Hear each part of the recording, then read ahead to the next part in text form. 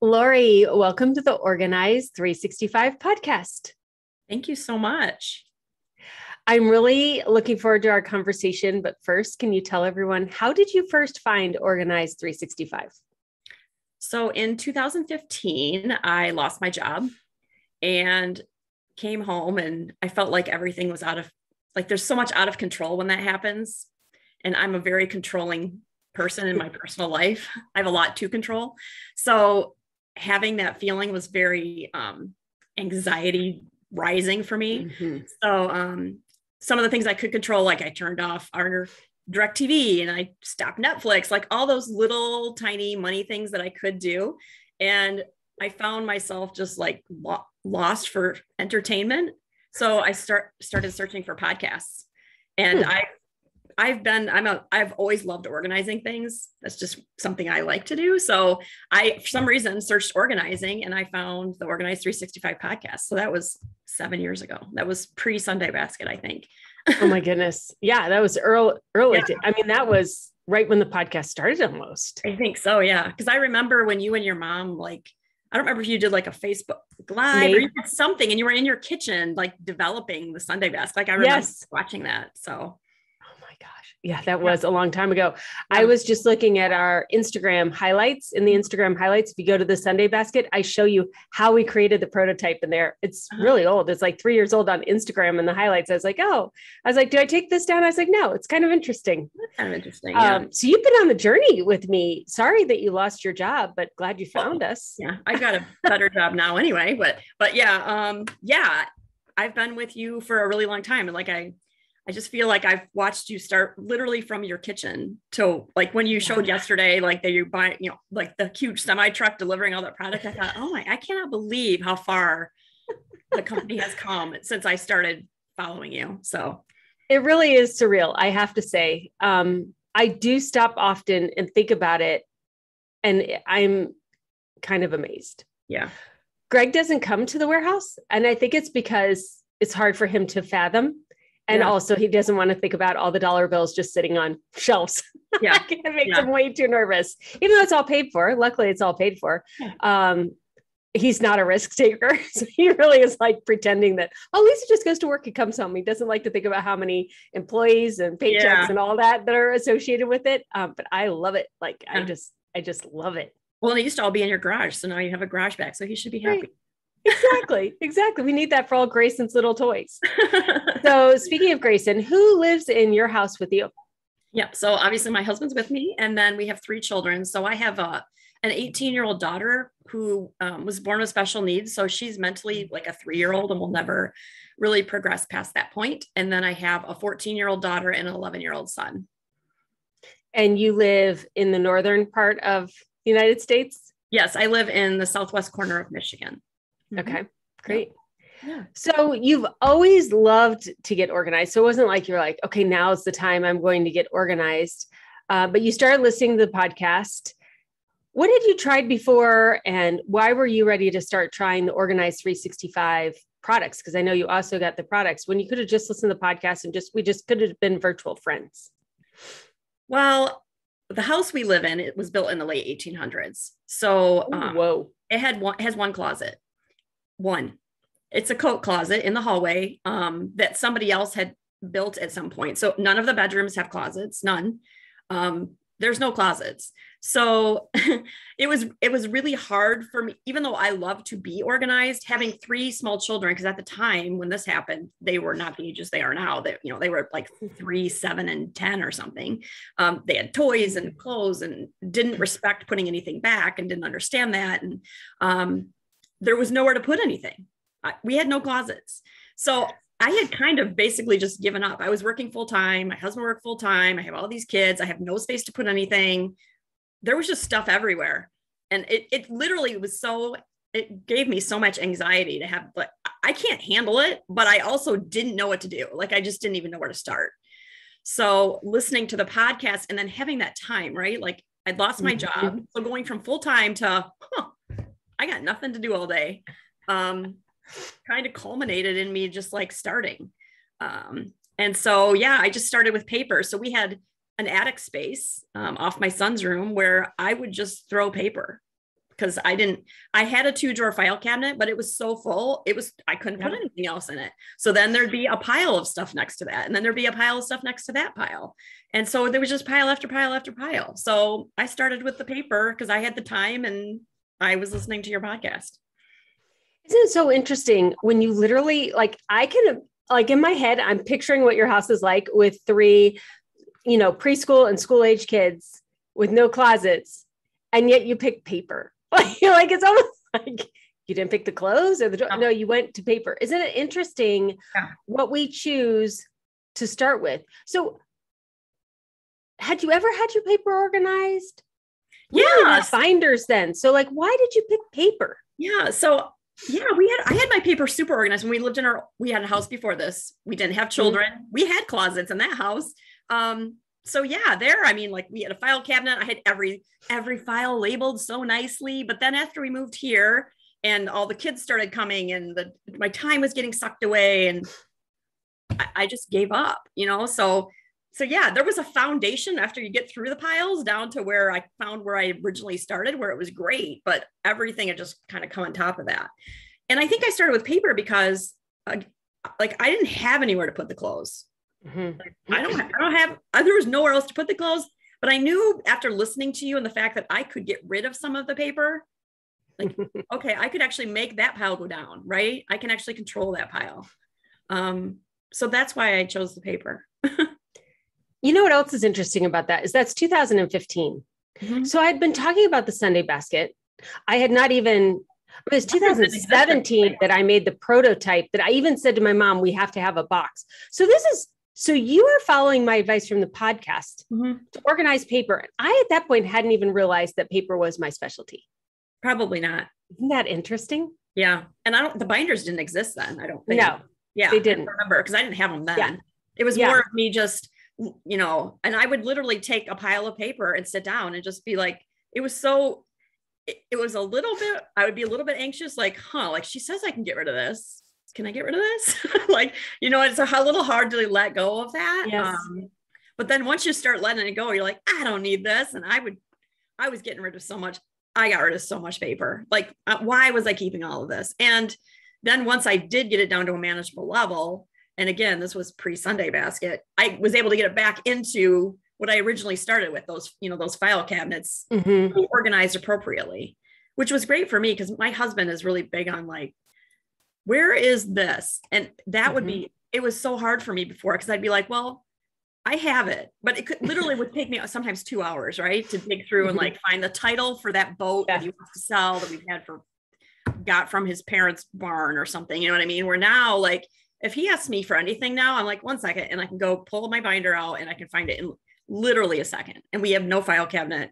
Like I have no pile of paper anywhere except for like okay. So we got to dive into that. So basically, this would have been like seven years ago. Mm-hmm. You solved your own paper problem and got it back into the filing cabinet that you had had success with before mm-hmm. you had kids. Yeah. You had a successful paper organization system for yourself before I came out with the binders. Why do the binders? I um I don't know. I just everything you have done, I feel like leads me the right way. So I was like, she says to do the binders. The binders are going to be easy for me to find stuff. So I'm going to switch to the binders. And my husband didn't think I was crazy when I sold the f- filing cabinet in a garage sale, but I like the binders better. I can flip through them faster. Um, they're organized um, better in, in better categories. Mm-hmm. So like um like I have the warrior mama binder for my my daughter. Like mm-hmm. right now I'm applying for her for social security because she just turned 18 and yeah. all the stuff they need for that. Like I don't have to dig through like certain sections of or I just I have a whole binder on her. I just grab the binder and I'm working on it. You know what I mean? Mm-hmm. mm-hmm. So did you get rid of even more out of the file cabinet when you made the binders? Oh yeah. Mm-hmm. Okay. So yeah. you did reduce more. Yeah, because I had a whole um like one of those plastic carrying cases. They had all of our like appliance manuals. I still kept those. For some reason, I had a really hard time with that. That was the last thing I was able to let go of is mm-hmm. just kind of ripping off a cover or maybe some important p- piece of information and, yeah. and keeping that. Um, but yeah, I had still kept all those things. But the, I kept thinking about it, right? How often do I pull one of those out? Like never. So right. why am I why am I keeping this giant stack of owner's manuals. It's stupid. And furthermore, could you fix it if you pulled it out anyway? Because like I can't. Well, I don't husband, know how. My husband probably could. He's super handy. but, but, does he have time? He looks. Do you want him to first anyway? He's not. He's going to look it up online first anyway. So. So I will tell you, I obviously got rid of all mine, and then we had to have something done on our HVAC, and the guy was I don't know doing something. He's like, "Well, I need the manual." I was like, "You do?" He's like, "Yeah." I was like, mm, "I don't have that." He's like, "You don't have that?" I was like, "Just a minute." So I went upstairs to my binder and I found the page. And then uh-huh. I went upstairs to my computer and I printed the whole thing out and I came back down with it. And now there's a slash pocket attached to the cool return drawer of my HVAC with exactly what he wanted to fix what he needed. But again, so it took me 10 minutes instead yeah. of actually having the manual. It turns out, for whatever reason, I do need that one because there's something that they had to program or redo, or maybe he was new. I don't know. No one's ever asked me for one before, but mm-hmm. I was able to print it out. Yeah. Because I kept the front cover. Right. Um, so that's the one time I've needed a manual in what 20 years, five years that I've lived in this house. That's the one time I actually needed one. And I was able to print it out within five minutes. Yep. It wasn't a problem. Yeah. So I, I like that story because for so many reasons. First of all, you started with what you had had success with in the past, which I don't know if you've listened to the most recent Organize 365 podcast, but we're talking about Swiss cheese organizing and how we do paper and personal and family organization and storage organization. A lot of people do start with the paper. And I think that they start with the paper because, um, well, unless you had success with a filing cabinet before, you don't have a solution. Like if you want to go organize your kids' toys, like for me, I immediately think of all the Pottery Barn catalogs I looked at when my kids were little. And that's what I'm trying to achieve. But when I think about paper organization, it's a filing cabinet. So there's not really a picture I'm trying to achieve. Then I'm just like, okay, well, how do I organize this paper the best? And then if you're doing binders, we like categorize it for you. It's like you attend a class on organizing paper for something you didn't know how to do to begin with. Mm-hmm. Um, so you could just follow those directions because you don't already have a preconceived notion about what it'll look like or how it will work, or really any judgment about um, why it wasn't already done this way before because you I hadn't invented it yet. So it wasn't like you could have done it. But also, I think that pain, like so often, I don't know how often, but very, very often in these Wednesday podcast episodes, when was the first time that you had success? It's when I could find the paper that my spouse asked for. I mean, yeah. has to be one out of every four times. Yeah. I was looking for a paper, I could find it. Someone asked me for a paper, I could find it. And I think that that's the hardest thing. Like you could find the sports uniform, it's either in the laundry or it's dirty or it's like you know where it is it's just in some level of cleanliness about whether we could wear it or not. But the paper, I mean, there's a lot of anxiety about it. There is. There is. And applying for Social Security disability, it's a process. Oh, yeah. It's not. There's a lot of paperwork. it is not paperless, people. It is yeah. not a paperless no. process. The no. government is very paper heavy. They love paper. They um, and, you know, a diagnosis from two that may not be the current diagnosis can still be submitted in amongst this paperwork. Like it's the whole history of how you got to where you are today. And it'll open up different services than if you didn't have those papers. Yep. Um, so I'm sorry that you're applying for that, but I'm glad that you have the resources you need. And I'm sure it's a, an easier process than if you were still trying to use a filing cabinet or hadn't even gotten the paper organized. Yes, for sure. So it doesn't matter where you start. Like you could start anywhere and a lot of people do start with the paper. I think another reason people start with the paper, and it may not have been your situation, but you could tell me if it is. Um, the family really doesn't know what you're doing at first. Like if you had said, I'm going to handle the kids' clothes, yeah, and your spouse came home at the end of the week and they were like, okay, but I thought you were going to handle this, then you'd be like, well, I haven't figured out how to do that yet. Whereas if you're just like going through paper and they see paper leaving, it wasn't really organized before. They don't really know what you're doing. And you're starting to be like, okay, I'm getting the hang of this. I'm getting the hang. It's a little bit more like organizing in private. Yeah. Kind of like the storage room is like organizing in private because nobody yeah. seems to care or comes down and checks on you unless they need something, which is not organization related. Yeah, no one's look. No one was looking in my attic at my pile of paper. no one was looking. I know I was looking. No. Um, I almost feel like so. How long were you organizing your house before you started working again? Um, I actually was only off work for about four months. So okay, I turned. But that's a nice. You know, that's a trimester. Yeah. And it was summertime. So like I wasn't even dealing with like school. So it was the perfect time to have some time off and do the, that kind of thing. How much did you get done that summer? Like, how did you just keep rabbit trailing around? There wasn't even, I don't even think we had the 100 day program at that time. I think it was still the 40 weeks then. I think it was. Yeah. I don't know. Yeah. I, I, got through all my paper. Um, and then it was soon after that that um, we decided to add on to our house a little bit. So we built a master suite. Um, and so I built a huge walk in closet. I built a really tiny bathroom, which was funny because when they first put the plans together, they're like, okay, this will be your bathroom. It'll be really nice. It's going to have a shower and a bathtub, and we'll build you this um this small like closet for you. And I was like, no, mm-mm. I said I'll, I would rather have a bathroom with no shower and tub, a half bath, but I need the closet. Like I need space for us to start putting some clothes somewhere. So we have a giant yeah. closet, very tiny bathroom. so that helped a lot as well because we were able to. It's almost like I felt like our house was ready to explode with stuff, and we like just exploded into this additional section of the house. um, and so that really helped a lot. Um, because we were able to, you know, move some kids around and we have armoires in all the kids' bedrooms to act as closets. Um, and from doing that, then I was able to hire somebody to start cleaning our house, um, mm. which has helped a ton, like with my time. And before that, I would never have let somebody clean our house because there was so much stuff everywhere that I like. I wouldn't even know where to start. I'd be like, "Well, clean the bedroom." Well, how? She'd be like, "How do I get around all these clothes you have piled here and this piled there?" And so, just to get everything into a spot so that we could actually have somebody come in and clean the house was like a game changer. Okay, so I want to talk about this if you're open to talking about having someone clean your house because I think that there is a lot of um I don't know, I felt like I kind of feel guilt every time I say that I have someone clean my house. I don't know why, but I do. And I've cleaned other people's houses and I've had my house cleaned and I like doing both. And I also like cleaning my own house. Like I don't have problems with any of the choices here. Yeah but there is a exponential return on money for the amount of time you get back when somebody else cleans your home. And if you've never had anybody else clean your home once you get over the feeling like you're a prima donna because somebody's going to clean your house for you um, it is it is an unbelievably it's it's a huge gift. Yeah. Like a once if you do it once a month and you just tried it for three months i don't think you'd ever go back because there's something about somebody else coming in and doing the toilets in the bathroom and the kitchen and the vacuuming. It's not rocket science what they're doing. Like you've been doing it for your entire life.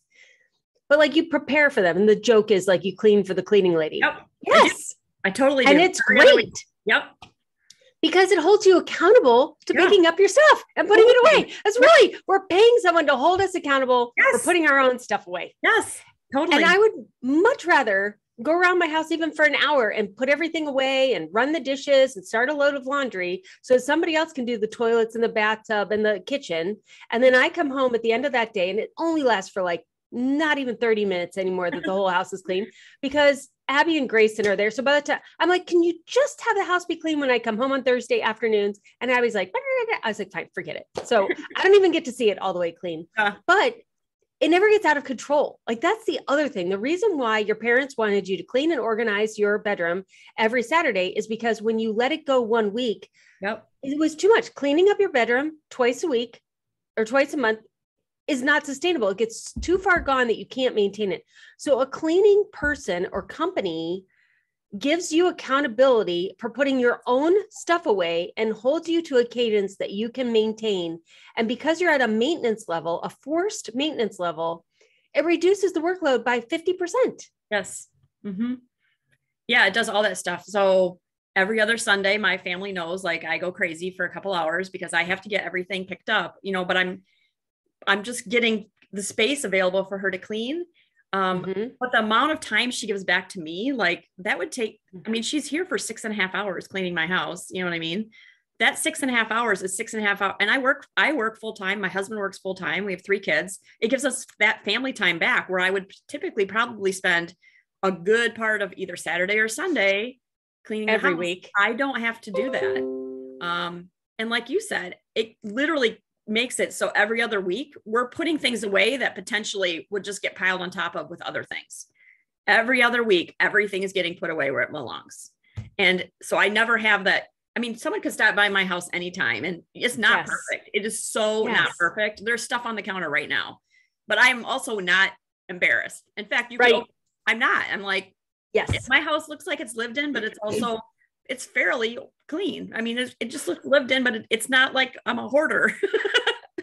yeah, they so, can go to the bathroom and you're not like, sorry about the science experiment. I know. Yes. I sorry about that. I've been meaning yeah. to get to that. Yeah. So it's, and she even says the same thing. She's my my the lady who cleans my house. She says, you know, what?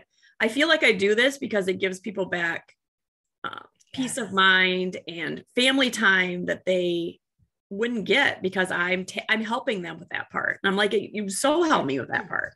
It's it's amazing. And I know not everyone can afford someone to clean their house. There have been many seasons where I have not been able to afford that, but the time and money are not equal. So you're spending a couple hours on Sunday. I'm spending every Wednesday night about an hour preparing for our person to clean the house. It only takes her three hours to do our house, but she does it every week now. the way the grandson, I was like, can we please have this every week? Because I work full time and I would much rather be spending time on Organize 365 and snuggling Grayson than cleaning toilets. I mean, it's just where I am in my life. But here's the other thing that we don't take into account when we're like, well, it only takes her three hours, so I could do the same thing in three hours and clean my own house. No, I'm sorry. It will take you five to six. And here's why you're already picking up for yes. her, him or who. Yes, her. you've already done part so of the that job. time is already there. Then I have to add the three hours that they clean. But here's where you forget I have to add the other two to three hours of me worrying about the cleaning, trying to fit in where I'm going to do the cleaning, try to motivate myself to do the cleaning, keeping myself on task to finish the cleaning because I'm not the hired cleaning person. So right. as I start cleaning the kitchen, I'm like, oh, yeah, I guess I'll throw a load of laundry in. Cleaning service is not doing that. Oh, I'll yeah. let the dogs out. Dog isn't even there when the cleaning service comes. Like, and I start to put in all these other household tasks. And then I run out of energy. I'm like, oh, I'll get to that next week. And then the job doesn't get all the way done because we only have an a finite amount of energy. And so you have to do an hour or two's worth of work every week or a couple hours every other week in order to prepare for the cleaning service to come in and do the act of just cleaning is fun and it is has a deadline to it and you can like do that but if you also have to clean up for yourself to clean and do all the other household related tasks while you're doing that and keep your motivation high this is why it just doesn't this is why you never get your house all the way clean unless you're having the entire family over for the holidays. So when I clean my own house, it gets it gets done twice a year. But when somebody else cleans my house, it gets done at whatever cadence it is that I pay for it to be done. And so it's just not the same. If they could do it in three hours and I'm paying $90, that's ridiculous. I should pay myself $30 an hour. No, it's going to take you six hours. So now it's $15 an hour. Um, and you also have to do the pickup and when you, you know it's just not the same dollar per hour. So it's not for everyone but i really do think it's the equivalent of if you're a solopreneur if you're an entrepreneur hiring a personal assistant or a bookkeeper. Yeah you could do your own books. Yes you could do your own email. Of course you can. Everybody can. But at what opportunity cost? Mm-hmm. Yep. What is the opportunity cost? And now that I've read the book, the um, the secret history of home economics, do you realize people in the early 1900s were not doing their own laundry and cleaning their own houses? They were hiring it out. No. Oh, yeah. Huh. Oh, yeah. Yeah. This was an invention of some big box consumer brands when um, the GIs came back from World War II and they created the house, the, the role of the housewife. Huh. That's super- it was fabricated and marketed. Wow. Well, it was very successful. Yes, it was very, very successful. They are very large marketers. These people yes. created the the job for us that I have stri- striven to and attained. and so, yeah, it's just, just very fascinating. Um, it's just very fascinating yeah. how it was all created. Yeah. So, what do you think you have more of now, Laurie? Peace of mind. Um, like I said, like it used to be. Christmas is coming. We're hosting Christmas and oh my gosh, the panic to think not only do I have to like cook all these things, but to get the house ready for people to come to my house was mm-hmm. that was a project. And my husband would grab a laundry basket and just start grabbing things and throwing it in and then set it in the basement. And then like six months later, I'd find like the laundry basket filled with things that I'd been missing. Like, what? That's not how you that's this is not helpful. This no, is not helpful. helping me at all. so so that that and and the time time I have. I mean, I could sit and read a book if I want, or take the kids to, you know, we don't live far from Lake Michigan. We could take the kids to the lake and we just have the time to do that now. And I, I don't feel like I had that time before. And I didn't feel if I did take the time to do that, I'd be thinking what I should be doing is probably mm-hmm. cleaning this up or, you know what I mean? Organizing this or that. And I don't, I don't feel that anymore. Hmm. Interesting. How about the kids? How are they with you have three kids? How are they with staying organized and well, the um, 14 year old girl is just like me. Her room is spotless at any point in time, bed always made, everything folded nicely. She's just like me, makes lists just like me. Um, the 11 year old boy is a challenge. him every day. I charge him a dollar per item that I find downstairs um, that he left out. So this is the only way I've gotten him to start picking his things up. he doesn't like having to pay me. Um, and then my 18 year old is, you know, I control her pretty much because she's, you know, she's pretty mm. control. She doesn't have any toys or anything. So, yeah. so yeah, but we're getting there with him. yeah. What do you wish you had known sooner? Um, I think um, the ability to throw things away, like mm. to let things go. Like now, when I get mail, I don't like just throw it in a pot. I mean, I throw it in my Sunday basket, but I don't necessarily like keep it for four months and every four months sit down and think, oh, I better go through this pile. Like I literally stand at the garbage can, I throw half of it away before I even walk to my Sunday basket and put the rest away. Hmm. Um, and like I said, throwing away manuals and um, like I created a binder, a, a separate binder. I mean, I have all yours, but then like I, when I was done, I created a binder for jobs. Like my husband and I have had various mm. jobs, and he has a very um, job where he has to have certain licenses and paperwork around that. So I have a jobs binder. So like if he asks me for this license, I can whip it out for him. Or um, if we're going, if I'm going on an interview for something and I want to look back at previous performance appraisals to kind of remind myself of things that I, job, you know, projects I've done. Um, so I I created a separate binder of just things like that. I never would have done that before because I wouldn't have even thought to do that. But because of your what you do, I thought, oh, I could do a binder for that. That would be super helpful. So yeah, and that goes right along with our workbox. So when you're in the workbox, you have the pink, purple, blue, green. Pink is marketing or sales or things that happen before something gets launched in your company to your customers or who you serve. But it also is anything related to you. So often when you're doing the workboxes, you'll end up with binders related to the workboxes. So that would be a pink binder. And in the pink ah. binder is everything related to your personal, professional career, CEUs, professional development hours. Your whole career history would be in pink, or like you could have purple binders for, like, I have a purple binder for Embrace because that's something that I've done every year. I have a purple research binder, like any kind of forward facing service offering that you do over and over and over again Blue binders would be anything related to teams. So, like, I have an employee binder that has all their contracts and quarterly conversations in it. Um, and then green is administrative, financial, and legal. So I have a lot of green. I have like one whole one just for legal contracts, another one just for the 401k plan we have for the team, and another one for warehouse and everything related to running an office and all of our physical assets that we have. So those binders then relate back to the work box is your active work, just like the Sunday basket is your active home. Right. And then you have the binders related to your reference that goes with your Sunday basket. You create reference binders for the workbox related to that for things that you would have put in a filing cabinet, or you may have them stored on your um, computer. A lot of people don't have the physical binders for business because it is stored on their computer. I do because you know I don't do digital, but we also have it all backed up in Dropbox for like when you know the hr department needs to know about it but if i personally need to know about it i go to the binder because yeah, it's just the way i think. Yeah yeah. Yeah i just don't i mean i know it's in dropbox somewhere but you know not where i look for it. What advice would you give to someone who's just starting out? So i would say to, to start small like if i would have looked back at my house back in 2015 like I, it's hard to like where do you start like where do you mm-hmm. start i think you just need to pick one thing that you think you can control and start small yes. and just kind of snowball from there so like i picked paper and I just chunked away at it a little bit every day. And um, and that worked for me. I mean, that might not work for everybody, but I think you if you look at the whole thing, it can be so daunting and overwhelming, and you think I can't do this. But the only way to get there is to start. And I think you just need to pick what what you think you can have the most impact on first. Great. Mm. Laurie, thank you so much for being a guest on the podcast. You're welcome. Yeah, it was. I just I had been leery of contacting you because I was like, I don't have everything in my life organized yet. Like I should wait. And then I was like, I don't really know what I'm waiting for. I mean, you're never going to have every single tiny thing.